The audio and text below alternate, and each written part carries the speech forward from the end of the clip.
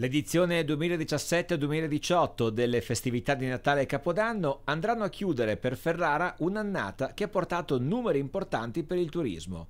A comunicarlo in conferenza è stato il vice sindaco Massimo Maisto. Tra i tanti festeggiamenti del 31 dicembre ci sarà anche quello del record di presenze turistiche nella nostra città. Ormai anche con la crescita di settembre lo possiamo dare già per, per consolidato. Abbiamo superato gli anni della crisi, della crisi economica del terremoto e stiamo facendo il dato migliore da sempre. Eh, questo è positivo perché significa occupazione, significa occupazione nella filiera turistica ma anche nella filiera commerciale. Non ci basta, vogliamo aumentare anche nei prossimi anni e uno dei modi per aumentare è quello di allargare la durata, ingrandire la, la, durata degli eventi e far sì che eventi come per esempio il Capodanno facciano da traino anche del periodo natalizio e del periodo successivo.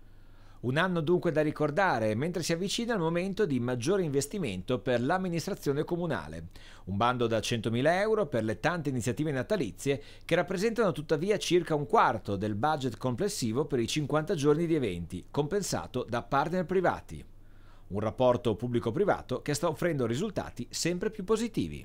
Penso che sia il clou di questo rapporto, non solo per l'entità ma proprio anche per le, le, manifeste volontà che sono in campo, associazioni, eh, scuole, terzo settore e credo che questo ci sia riconosciuto anche al di fuori delle quattro mura, uno sforzo importante per non lasciare indietro nessuno.